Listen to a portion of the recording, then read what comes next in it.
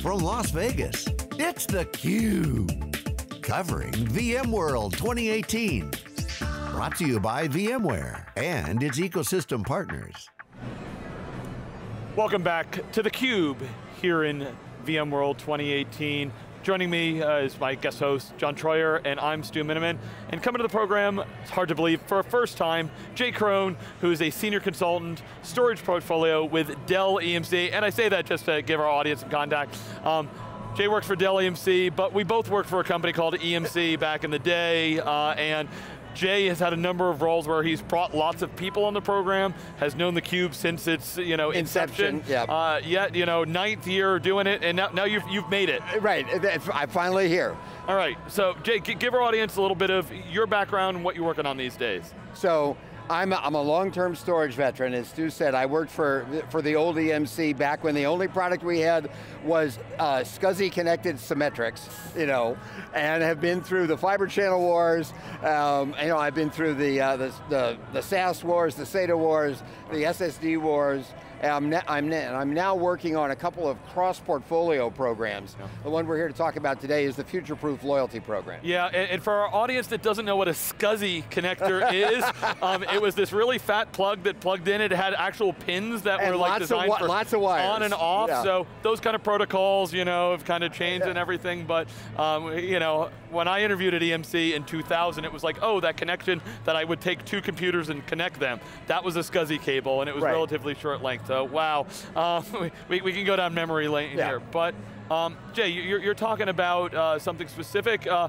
we talk about the future, and uh, it's tough to predict it, but Dell's going to make sure that everything's future-proof, of, right? Of course. All right, what's well, that mean? Well, and what that, what that means, what's interesting, had, you know, back in the day, we were competing um, and innovating primarily just in the technology dimension. And you know, a lot of us are technologists, we've had a, a, fun time doing that, but as, as people have gotten more sophisticated about, they, about the way they buy technology, they're looking for other assurances that that vendors are going to are going to be there with, you know be there for them when something goes wrong. So there are a couple of there are nine different, what we call offers or pillars in the Future Proof program that are really intended to give customers peace of mind, probably most importantly, protect their investment, the money that they spend on, on IT, and to your point, give them, give them a path forward. So what we've done is looked across the inventory of things that Dell EMC already offered. Uh, many of these were business practices that we already had in place, and what we've done is turned up the volume and made them more,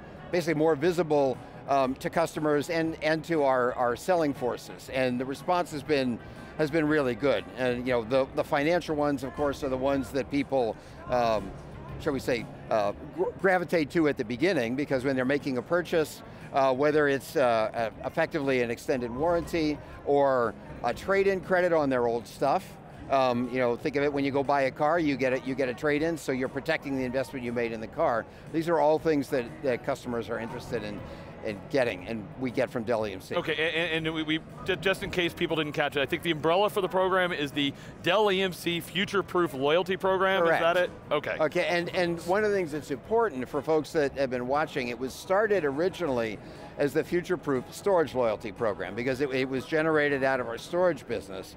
And what happened is the customers um, and salespeople were so excited about it, they said, can you add more? And we said, yes we can. And so in July, for example, we added data protection, the IDPA DP4400 product, along with a guarantee specifically uh, tailored for that product. Um, we're here, one of the reasons that I'm here and we're here at, at uh, VMware is we added VxRail on Monday. And I, I mean, it's, that one's extremely exciting because even before it was officially in the program, we, we helped a, a, a customer with a, a six-figure purchase through one of the future-proof benefits. And then we've, we have another, we have an eight-figure deal in the wind right now on VxRail uh, based on some of the, the pillars of the future-proof program. And, and, so Jay, when you talk about some of the, you know, you're talking about some of the pillars, some of the motivators for the customer then, I mean, some of it's just the transparent financials, some of it's kind of dedupe and storage guarantees. Correct. All those, you're including all those. Including, correct, yeah. correct. So, and, and then, because part of it is to make, bring Dell and EMC together um, was complex or created Gotcha. some complexity and some confusion, shall we say. So part of, part of the reason we created this program was to make it simpler to consume and, and to make some of these things Yeah. easier to well, find. Right, right. I mean, much. I mean, like buying a car, right? Enterprise hardware has always been a little bit mysterious. Like, h- how does it cost? Well, how much money do you have? And then I'll tell you how much it costs. Exactly. And shady. I mean, not shady, but discounts, and it's not very. It's very opaque. But like a lot of these things are are real clear. Uh, out in the open, uh, actually I just went through the website, like, Exactly. we guarantee you're going to get this, you can do Right. this in, the, in Right. three years or five years, we guarantee this, and it's it's pretty upfront. Uh, Exactly, and I mean, what you mentioned is the, the clear price maintenance program. I mean, again, as we all know, there, there were some pricing practices with customers that were ni neither clear nor predictable uh, on maintenance renewals, and so that's been something that's been extremely exciting. Uh, that is, in fact, you know, one of the things the VxRail folks are excited about, where uh, what ends up happening from a customer perspective is when they get the quote, the, quotes, the quoting system automatically generates your prepaid maintenance price and your renewal price either three years or five years from now, depending on the contract you pick. And it's right there on the paper, and I, you know, I can't get clearer and I can't get more predictable. You know, here's what you're going to pay now and here's what you're going to pay later. As a cultural shift, was there, was there any kind of discussion internally about, well, wait a minute, some, you, sometimes I hold these, I hold a couple points for a partner, I hold a couple points to make sure I get a deal.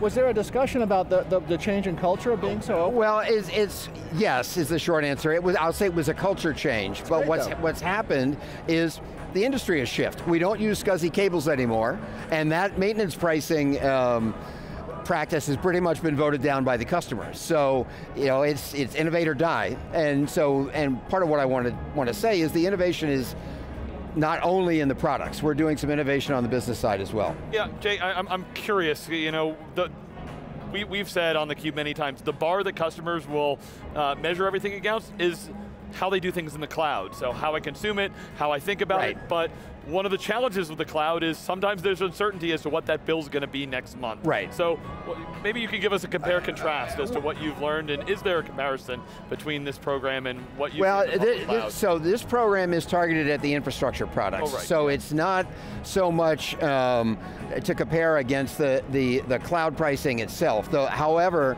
what we what we've done here also uh, announced this week as part of the larger Dell EMC Cloud Marketplace is what we call the cloud consumption models. And this is a couple of the cloud financing programs, again, that were already in place from Dell Financial Services. They give customers the ability, if, if they really want to buy infrastructure that they put in their data centers in an OpEx model, you can do that. And um, you know, it's called Flex on Demand. There's, there's a couple of really uh, exciting high velocity, they call it Flex on Demand velocity for Unity and X2, where again there's a rate card, so you're not coming in and having, you know, having, having the salesperson sharpen the pencil and, and say, here's what the price is. So they'll come in with a rate card on how, on how to consume that. And what, when we take a look at that, uh, that pricing model versus both some of our um, system vendor competitors as well as some of your, shall we say, more prominent cloud competitors. As, as Michael said, the cloud is an operating model, not a place. And we can, if you want to, if you want to have that operating model for the way you pay for the infrastructure, buying the buying buying an XtremIO capacity for us with the cloud model is cheaper than buying SSDs, you know, SSD uh, capacity from, you know, one of the cloud providers. All right, Jay, want to give you the final word. I believe there's a website if people want to find out more. What, what, what is the final takeaway you'd want people to have uh, about this program? Well, basically, uh, investment protection is number one. Peace of mind is really important. There are a number of guarantees about product performance, and as we've said, you know, the future is right. We're giving you giving you a way to go there. Jay Krone, pleasure to catch up with you on camera, Likewise, as thank it is you. always off camera. For John Troyer, I'm Stu Miniman, back with more coverage here, theCUBE, VMworld 2018. Thanks for watching.